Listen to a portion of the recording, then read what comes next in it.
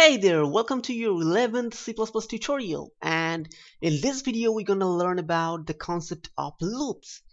Now the concept of loop is one of the most important concepts in any programming language and in computer programming uh, specifically because you will need the concept of loops in everywhere. So uh, in this video we're just gonna discuss the concept and in the later videos we're just gonna um, give you examples of loops. Okay. So first of all, what are loops? Why are they need? So let me show you a YouTube playlist first of all.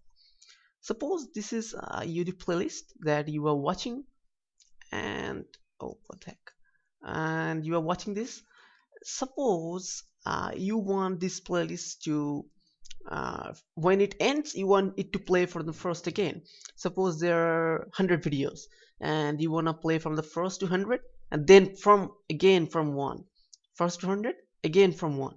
So in order to do that what you do you just click this repeat playlist option. So when you have activated this repeat playlist what happens is this playlist goes to the end and then it starts from the first again. So this is the very very basic concept of loops.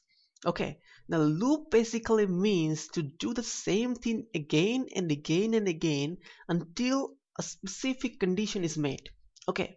Now in this case what is that specific condition? In this case the specific condition is until I have deactivated the repeat playlist button. Okay. If I have deactivated it then it will not go.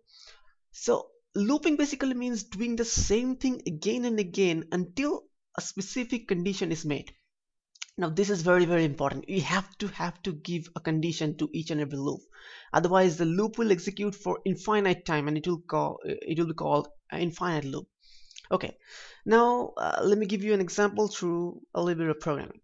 Suppose I want you I want I tell you to write my name. So what you do go cout Raja and in the line.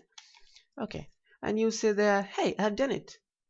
I have just printed your name on why it is freezing I don't know.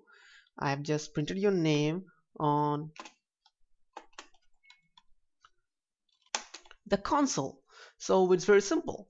Now again, I tell you to print my name five times. So what you do, you just copy this name and just go and just paste it five times.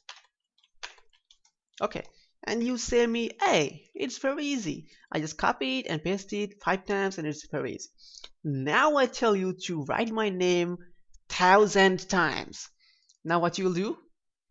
Would you just go and copy this thousand times? All the best with that but I'm not gonna go there. I'm not gonna go and do that. So in order to do the same thing again and again like thousand times or million times we have to use the concept of loops. So loops basically means uh, doing the same thing again and again as I've said before.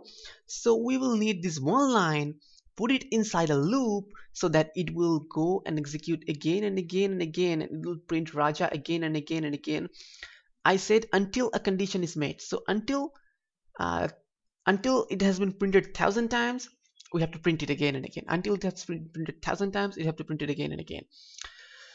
So that is basically the concept of loops. Now in this video I said that I will only discuss the concept uh, and I will not discuss any of the codes.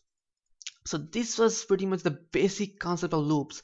And in the next videos we will learn about very uh, different type of loops in C++ like while loops for loops do while loops and all that stuff.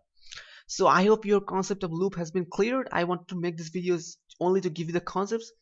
Uh, I hope it helped. Thank you very very much for watching this video. Please subscribe and like and share. Thank you